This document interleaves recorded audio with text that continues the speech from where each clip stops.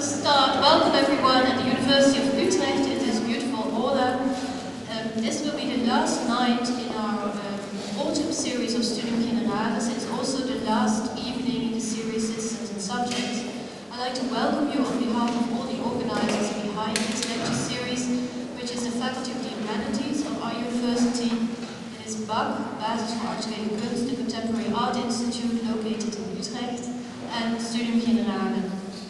My name is Melanie Peters. I'm the director of Generale, and um, I'd like to welcome you as well.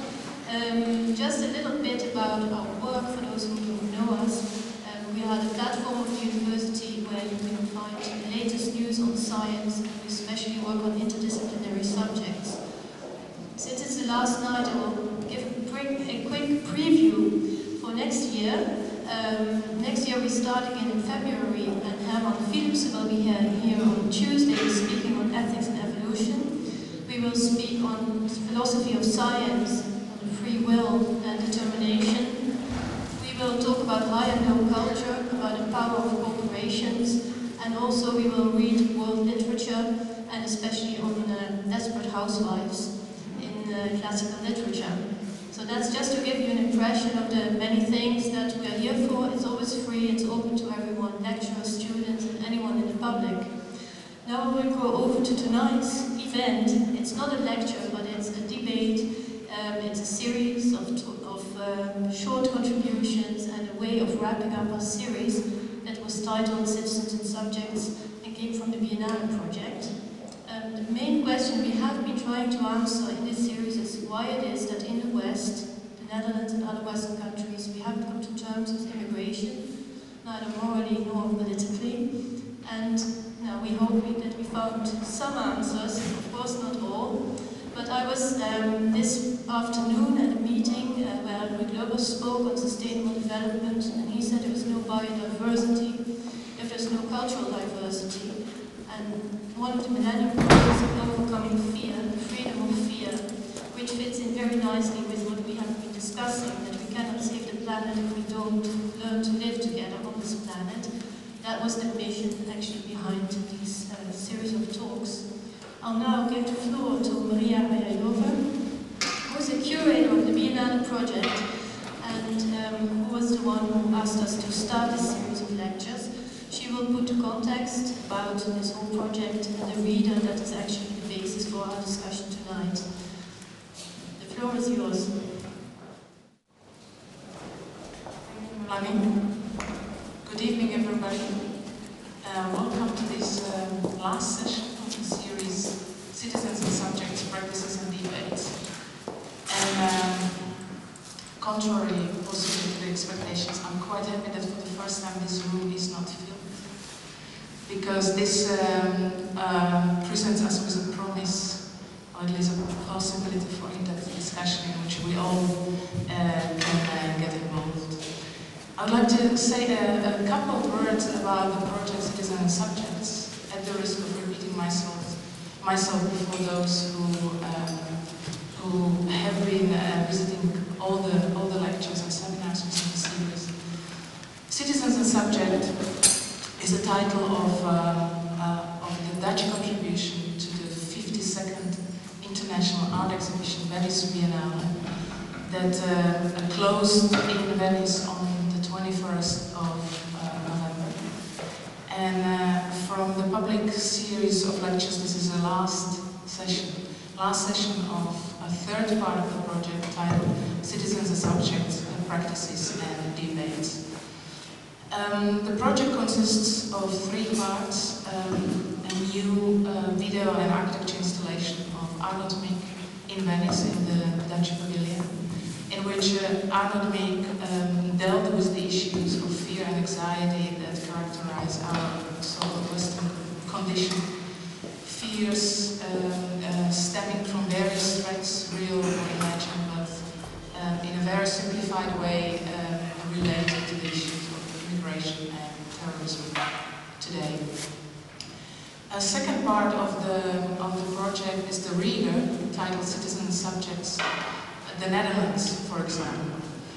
Um, the reader is actually a platform that uh, will provide a framework for us this evening to debate these issues issues of citizenship, issues of citizens and subjects, um, and issues of particular example of the Netherlands, um, something that Aernout asked me, asked me to stress before the discussion. The, his project in the, in the Dutch uh, pavilion in Venice did not deal with the issues uh, related specifically uh, to the Netherlands. He very consciously um, enlarged a framework with uh, which he worked, and that was specifically Western condition, as he called it, called it himself. To focus on, uh, on the Netherlands specifically as an example was a decision of the three editors of, uh, of the reader. Uh, Rosi Braidotti, who sits at the um, end of the table and who's going to help me moderating, moderating this uh, in-depth discussion. Um, and Charles Esche, uh, director of Van Abbe Museum, who's joining uh, the panel uh, tonight as well.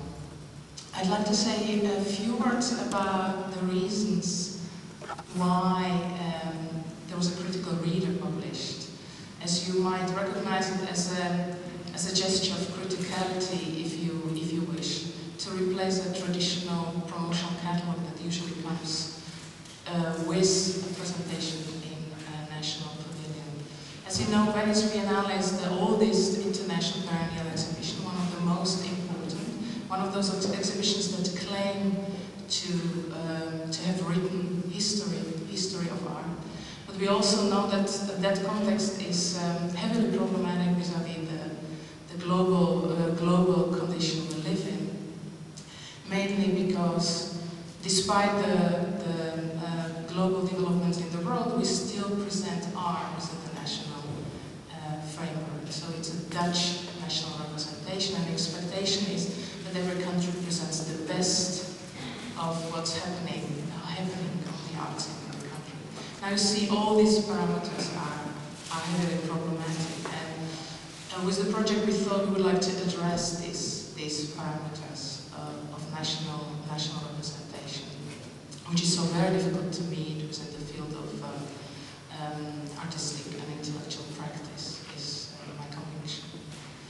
Um, one of the reasons, or one of the, of the conceptual assets of uh, uh, of this project were also, were also informed by the very fact that despite the Venice Biennale being uh, such an important exhibition that I, I certainly recognize, it's um, um, um, by and large um, an event of entertainment and spectacle. Um, uh, a beautiful moment every two years to which the whole art world travels to, to gather experience a good time together, one, one, could, uh, one could actually say. We thought, what if we, instead of playing out uh, all these parameters uh, further, what if we try to, um, instead of the catalog, uh, provide a publication that would engage in in-depth analysis of all these issues. Third part I need to mention, uh, uh, citizens, subjects, practices and debates we decided that we would like to carry on the debate about these issues um, beyond the momentum, glamorous momentum of the opening of the exhibition in Venice and beyond um, uh, the possibilities of. And I realized a series of this kind of gatherings here in this beautiful aula in collaboration with uh, Utrecht University, but also with the David Rotterdam and Van Abbe Museum in Eindhoven. We believed we needed to uh, carry on this series of discussions, not in the glamorous city of Venice, but bring it back to the Netherlands, as it is this particular nation state that we feel responsibility for uh, discussing. Um, we had a wonderful series of to say that, um, was uh, empowering um, uh, and um, uh, very telling stories by key uh, intellectuals who dedicate their work to a great extent to this country. And this closing panel will be a panel with four contributors um, to the reader. Uh, Iris van der uh, sitting next to uh, Rosi Braidotti, Henk Oosterling, uh, Lindegren, and Charles Esche. How we would like to begin is that each of the of the participants uh, of the panel will try to revisit their contribution um, to the reading. In the case of Charles Esche, we will be probably revisiting this process of editing the book and process of taking certain decisions that we decided to take. In the case of other speakers, it will be revisiting their essay, their text uh, with which they contributed to the project. And afterwards, we would like to um, invite you to join um, into discussion mainly about, um, about the question, why do we find it important to engage with these issues of major ethical um, and political consequence in the field of art, artistic practice and scholarship. Um, but I think at first I would like to offer the floor to Charles Esche to uh, give us um, a brief uh, uh, introduction